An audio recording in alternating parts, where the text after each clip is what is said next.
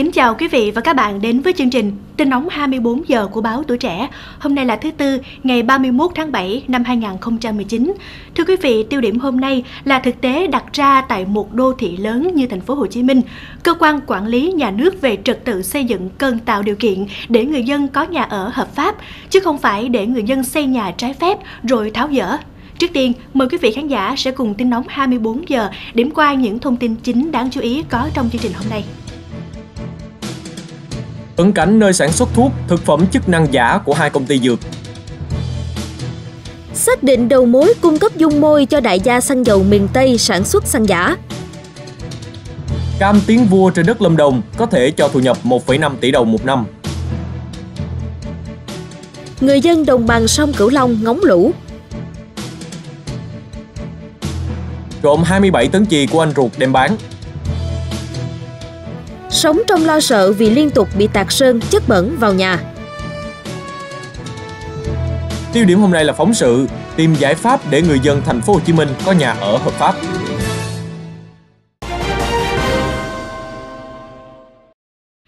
Vị, Phòng Cảnh sát Kinh tế PC03 Công an thành phố Hồ Chí Minh đang tiếp tục điều tra đối với đường dây sản xuất thuốc, thực phẩm chức năng giả do Nguyễn Đình Lạc Thư, Phó Giám đốc Công ty trách nhiệm hữu hạn thương mại Asia Pharmacy và Lê Văn Khối, Giám đốc Công ty trách nhiệm hữu hạn dược phẩm Đông Dược Việt chủ mưu.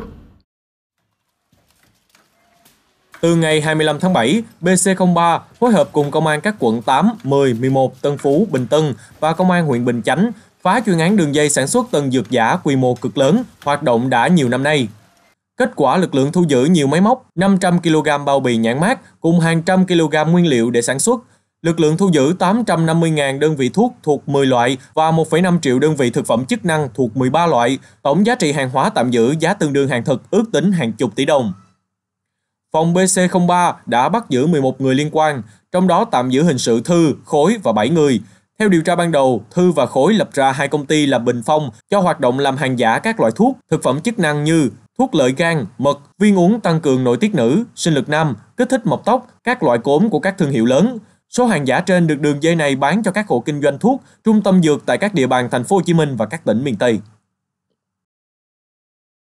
Tiếp theo là một cập nhật diễn biến liên quan đến đại gia xăng dầu miền Tây bị can Trịnh Sướng trong vụ sản xuất hàng trăm triệu lít xăng giả. Liên quan đến đường dây sản xuất xăng giả Trịnh Sướng, chiều tối qua, cơ quan cảnh sát điều tra công an tỉnh Đắk Nông đã thông tin việc triệt phá đầu mối cung cấp hơn 150 triệu lít dung môi để sản xuất hơn 400 triệu lít xăng giả suốt 2 năm qua. Ban chuyên án phát hiện ra đầu mối cung cấp xăng giả cho bị can Trịnh Sướng và Đinh Chí Dũng cùng 17 người khác là Lưu Văn Nguyện đã bị khởi tố bắt tạm giam. Chủ tịch Hội đồng Quản trị Công ty Sản xuất Dầu khí Bình Minh được cấp phép tại Tiền Giang với vốn điều lệ 50 tỷ đồng. Công ty này được cấp phép hoạt động sản xuất dung môi hóa chất với khối lượng 77.000 lít một năm. Đến nay, cơ quan công an xác định bị can Nguyện bán 150 triệu lít dung môi và hóa chất các loại, trị giá khoảng 1.900 tỷ đồng cho 19 đối tượng. Trong số này, bán cho bị can Trịnh Sướng gần 31 triệu lít, trị giá 402 tỷ đồng, bán cho Đinh Chí Dũng gần 40 triệu lít, giá trị hơn 530 tỷ đồng. Xin chuyển sang những thông tin đáng chú ý khác. Rạng sáng nay, tại xã Võ Lao, huyện Văn Bàn, tỉnh Lào Cai đã xuất hiện một trận lũ ống bất ngờ trong đêm, cuốn mất tích một phụ nữ khi đi qua ngầm tràn trên suối Nậm Mã. Nạn nhân được xác định là chị Triệu Thị Siết, 33 tuổi, trú tại xã Nậm Dạng, huyện Văn Bàn. Được biết chị Siết là công nhân làm việc tại một cơ sở chế biến gỗ trên địa bàn xã Phú Nhuận. Sau khi làm việc xong ca 2, lúc hơn 1 giờ sáng ngày 31 tháng 7, chỉ Siết đi qua ngầm nậm mã để về nhà thì xảy ra tai nạn. Sau khi nhận được tin báo có người bị lũ cuốn, Ủy ban nhân dân xã Võ Lao đã huy động khoảng 50 cán bộ và người dân tiến hành tìm kiếm dọc 3 km bờ suối Nậm Mã. Đến 4 giờ sáng cùng ngày, lực lượng cứu hộ đã tìm thấy xe máy của nạn nhân cách nơi xảy ra tai nạn gần 3 km. Hiện lực lượng cứu hộ vẫn đang khoanh vùng và nỗ lực tìm kiếm nạn nhân. Dù chuẩn bị tâm thế để đón lũ, nhưng hiện tại, người dân đồng bằng sông Cửu Long lại vẫn đang mong chờ lũ khi đã gần bước sang tháng 7 âm lịch, nhưng mực nước trên các sông đầu nguồn vẫn ở mức thấp.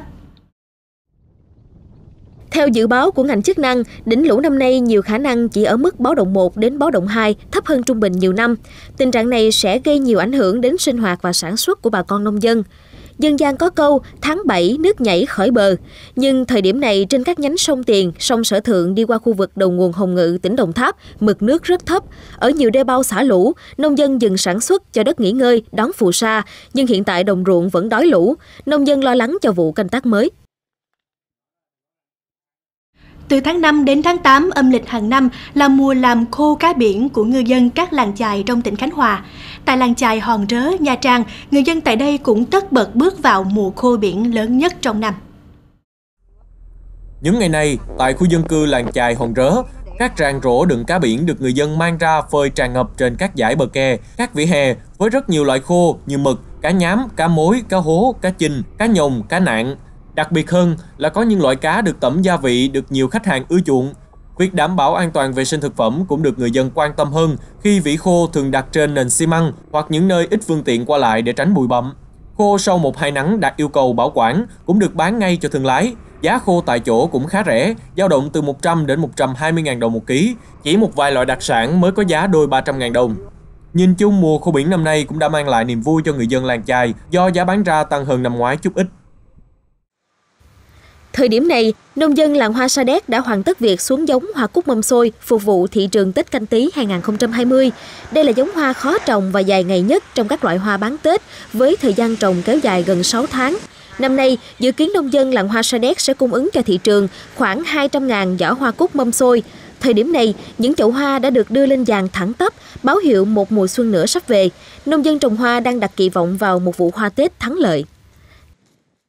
Nhiều năm qua tại Lâm Đồng, việc trồng và phát triển cây cam tiếng vua hay còn gọi là cam đường canh đã mang lại hiệu quả kinh tế cao cho người dân.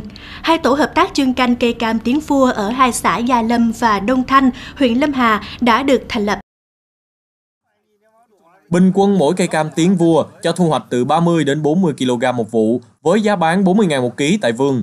Tính trung bình mỗi gia đình có từ 500 đến 1.500 cây sẽ cho thu nhập từ 500 triệu đến 1,5 tỷ đồng một năm. Đây là mức thu nhập rất cao so với nhiều loại nông sản cây trồng khác. Đa số người dân trồng cam tại hai xã Gia Lâm và Đông Thanh đều đánh giá trồng cam cho thu nhập tốt và ổn định hơn trồng cà phê, các loại cây ăn trái khác. Đặc biệt thị trường tiêu thụ luôn ổn định, người dân vô cùng phấn khởi. Được biết hiện tại, mỗi ngày các hợp tác trồng cam ở Gia Lâm và Đông Thanh đang cung cấp cho thị trường hàng chục tấn cam. Nông dân Hậu Giang đang vào vụ thu hoạch cam sành. Khác với mọi năm, nhà vườn trồng cam nơi đây rất phấn khởi bởi sau một thời gian dài, giá cam ở mức thấp hiện nay đã có dấu hiệu tăng mạnh trở lại. Hiện nay các thương lái vào tận vườn thu mua cam sành loại 1 ở mức 15.000 đồng một kg, loại 2 ở mức 12.000 đồng một kg, cam mua xô cả vườn ở mức từ 10.000 đến 12.000 đồng một kg, tăng hơn 5.000 đồng một kg so với thời điểm cách này một tháng và cao hơn gấp đôi so với thời điểm cùng kỳ năm trước. Với giá cam này cùng với năng suất cam ở mức 2,5 tấn một công, trừ hết chi phí sản xuất, nhà vườn trồng cam sành hiện nay lãi khoảng 17 triệu đồng một công. Tại đi nơi hội tụ tinh hoa chất lượng với những nguyên liệu thường hàng và hoàn toàn tự nhiên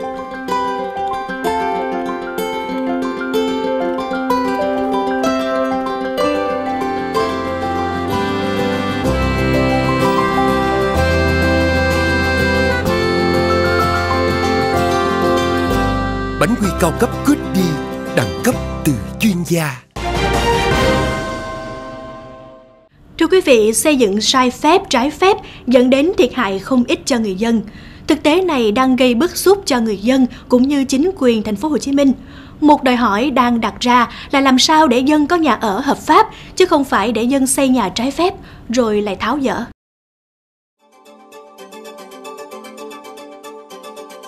Huyện Bình Chánh thành phố Hồ Chí Minh tăng dân số cơ học khoảng 30.000 dân một năm.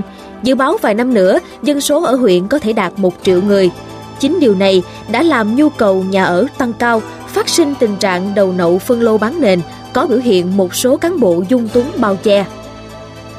Tương tự ở huyện Hóc Môn, thành phố Hồ Chí Minh, bà Đỗ Thị Lâm Tuyền, Phó Chủ tịch Ủy ban nhân dân huyện cho biết, hiện tại đã có 500.000 nhân khẩu. Do quỹ đất còn lớn với 5.200 hecta nên tình trạng xây dựng sai phạm diễn ra phức tạp. Trong các năm 2017-2018 và 6 tháng đầu năm 2019, cơ quan chức năng của thành phố Hồ Chí Minh ghi nhận có hơn 6.800 công trình xây dựng trái phép Tại một số quận huyện của thành phố, nhu cầu xây dựng nhà ở, có chỗ ở hiện đang rất nóng. Đây xin được đề xuất thành phố là có những định hướng lớn cho những quyền những quận mà còn diện tích đất nông nghiệp trong việc phát triển dân số và đủ những nội dung này thì chúng tôi mới đủ khả năng có cái giờ những quy hoạch cụ thể và mới không có cái việc mà xây dựng không phép khai thác Tại hội nghị do Ủy ban Nhân dân thành phố tổ chức ngày 30 tháng 7 nhằm tìm giải pháp tăng cường quản lý nhà nước về trật tự xây dựng, nhiều nguyên nhân dẫn đến vi phạm trật tự xây dựng đã được chỉ ra. Ngoài biểu hiện tiêu cực, tham nhũng của một bộ phận cán bộ quản lý, thì quy hoạch không còn phù hợp hoặc quy hoạch treo cũng là những nguyên nhân dẫn đến vi phạm này. Tuy nhiên, mạnh tay xử lý các vi phạm về xây dựng kể cả xử lý hình sự đối với những vi phạm nhiều lần được nhấn mạnh như một trong những giải pháp giúp hạ nhiệt các vi phạm tràn lan, đặc biệt là những chủ đầu tư, đầu nậu cố tình vi phạm gây khổ cho người dân. Đối với hành vi này, nếu đã có biên bản đã ổn định xử phạt hành chính, có tiền sự rồi đó, mà tiếp tục vi phạm thì chúng ta có thể đấu tranh hình sự. Để đối với những trường hợp đầu nậu và trên thực tế lâu nay thì hầu như ít. Cũng chưa thấy trong những năm gần đây chưa thấy chúng ta xử lý hình sự về cái hành vi này.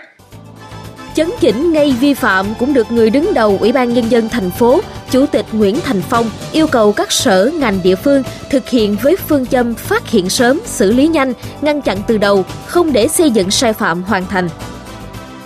Công an thành phố khẩn trương xác minh xử lý hình sự đối với các đối tượng vi phạm nhiều lần, mức độ vi phạm nghiêm trọng, đặc biệt là các đối tượng đầu nậu, đầu cơ xây dựng công trình không phép trên đất nông nghiệp, tự ý phân lô bán nền để trục lợi, gây ảnh hưởng xấu đến quy hoạch chung, gây mất an ninh trật tự trên địa bàn. Xây dựng hướng dẫn hoặc trình tự để tiến hành xử lý hình sự đối với một số hành vi vi phạm trong lĩnh vực xây dựng, đất đai để bổ sung vào nội dung của đề án tổng thể. Ông Nguyễn Thiện Nhân, Bí thư Thành ủy Thành phố Hồ Chí Minh nhấn mạnh việc xây dựng trái phép kéo dài cả chục năm nay trên địa bàn thành phố, vậy phải tìm ra quy luật vì sao việc này tồn tại. Tại sao cái việc không phép trái phép nó cứ tồn tại nó phải có quy luật chứ? Thì quy luật đây chính là gì? Cái việc tồn tại đó phải có lợi cho một số đối tượng chủ thể. Đúng không? Thì khi có lợi ta mới muốn duy trì những công trình đã xây trái phép rồi không phép rồi mà đang tồn tại, chúng ta phải có hướng xử lý. Và có giải pháp rõ ràng, tồn tại bao nhiêu lâu, tồn tại thế nào, cán bộ công chức vi phạm phải bị xử lý thì thấy rằng con đường không phải con đường bền vững. Và những cái người xây dựng hoặc đầu nậu, mua bán trái phép, họ cũng phải bị xử lý, thì họ mới thấy rằng vi phạm pháp luật họ không tồn tại được. Chúng ta rà soát lại quy hoạch đất, rà soát lại vấn đề chia tách đất của hộ dân, đúng không ạ? Rà soát quy hoạch đất ở hồ sơ để giúp những người có điều kiện hợp pháp thì người ta sớm làm được cái việc này.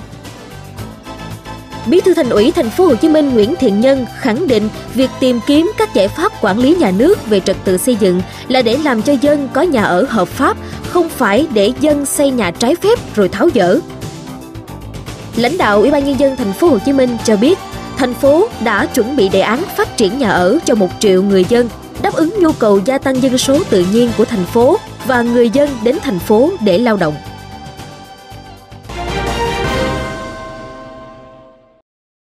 Thưa quý vị, chương trình tiếp tục với những thông tin đáng chú ý được cập nhật trên một số lĩnh vực. Những ngày qua, một gia đình ở hẻm số 4 đường Trần Khắc Chân, phường Tân Định, quận 1, thành phố Hồ Chí Minh luôn nơm nớp lo sợ vì nhà mình liên tục bị kẻ lạ tạt sơn, chất bẩn vào nhà. Theo trình báo, khoảng 2 giờ 30 phút ngày 25 tháng 7, gia đình chị N đang ngủ thì nghe tiếng động lớn trước cửa nhà. Kiểm tra thì phát hiện nhà bị ném mắm tôm trộn phân vào nhà. Chưa hết sợ hãi thì 4 ngày sau, gia đình chị N tiếp tục bị khủng bố, nhưng lần này ngoài mắm tôm trộn phân còn có nước sơn đỏ. Chất bẩn có mùi hôi kinh khủng, văng tung tóe dính trên tường, cửa nhà và văng vào một cụ bà đang nằm ngủ. Sau vụ việc, cơ quan chức năng cùng gia đình chị N xem camera hàng xóm thì thấy hai thanh niên bịt mặt đi xe máy ném chất bẩn vào nhà chị N rồi bỏ chạy. Sau hai lần bị khủng bố, chị đã hỏi hết thành viên trong gia đình, thậm chí gọi cho dòng họ, người thân đã từng ở căn nhà trên để hỏi xem có trường hợp nào thiếu nợ hay thù oán gì với ai không và được biết là không có trường hợp nào. Công an quận 2 thành phố Hồ Chí Minh cho biết đang tạm giữ Trần Anh Vũ, 32 tuổi, ngụ Thanh Hóa để điều tra về hành vi trộm cắp tài sản cùng một số đối tượng liên quan để củng cố hồ sơ xử lý.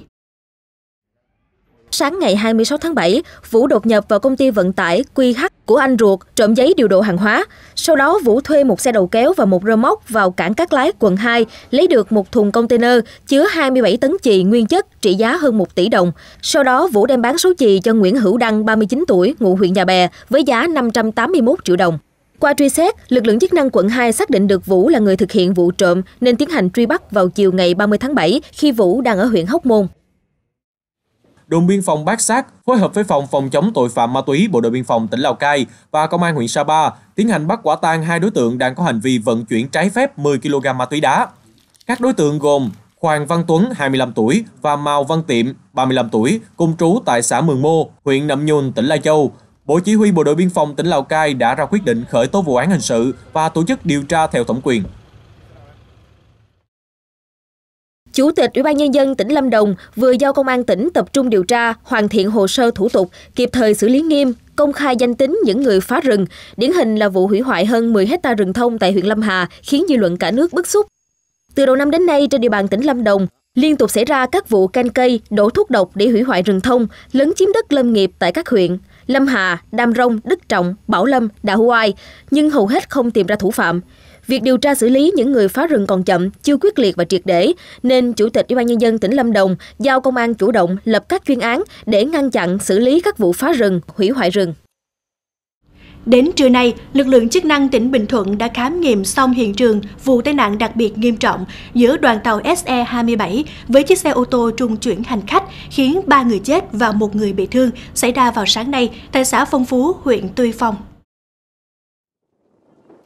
Tàu SE27 khi đến đường ngang có biển báo thì tàu tông vào xe ô tô 16 chỗ của hãng xe Đông Hưng. Tàu SE27 đẩy ô tô trên đến km 1466 050, tông vào cột đèn báo hiệu mới dừng lại. Chiếc ô tô nằm dưới cách đường ray khoảng 2 mét về phía bên phải theo hướng tàu chạy. Cột đèn báo hiệu vào ga phía nam gãy đổ hoàn toàn. Theo ghi nhận, vị trí xảy ra vụ tai nạn thông thoáng, không khuất tầm nhìn, có nhiều biển báo hiệu đường giao nhau. Hậu quả vụ tai nạn làm 3 người chết tại chỗ, một người bị thương nặng đang đưa đi cấp cứu.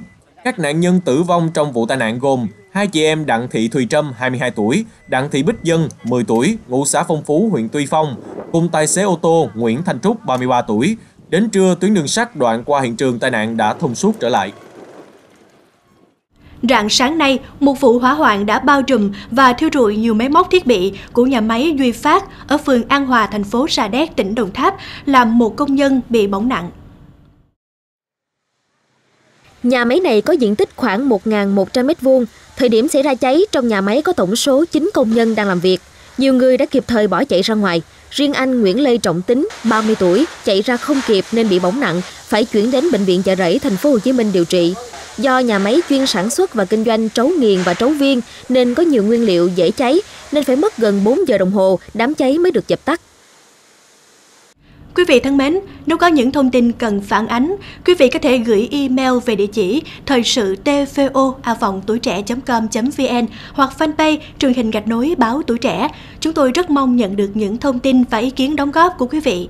Chương trình tin nóng 24 giờ do báo tuổi trẻ phối hợp với công ty Sen Vàng thực hiện đến đây là hết.